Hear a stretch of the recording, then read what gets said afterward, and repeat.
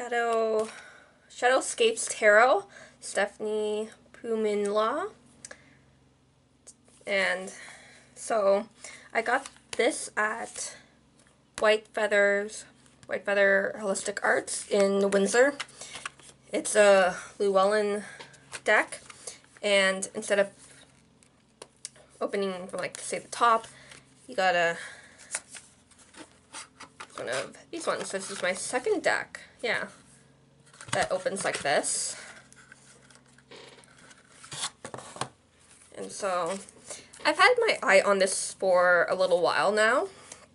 And I've only seen it seen it in like the box form and I'm like I don't know if it is one of those types of box like it comes with the deck and a book and I'm like I don't know if it's going to be like the Llewellyn tarot like box where it's there's nothing to hold the deck securely in or if it's like the other uh like Acto After Tarot deck where you got like cardboard securely where you can have the deck securely snug in here.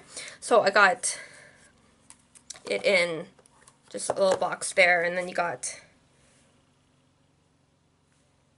this that as the back, and you got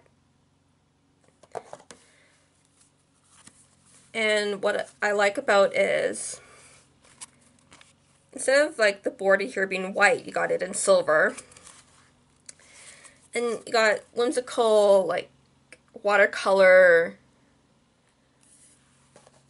imagery, so you got the full there. And so like you got different blends of themes. So and like different kind of tales and interpretations and stuff from different as like different cultures if you want to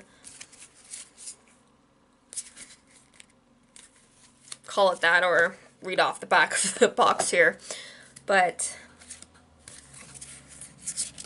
I like for me I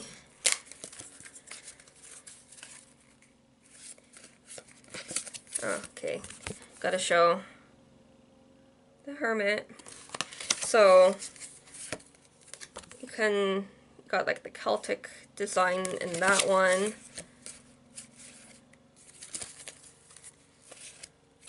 Like the yin and yang kind of symbol that one.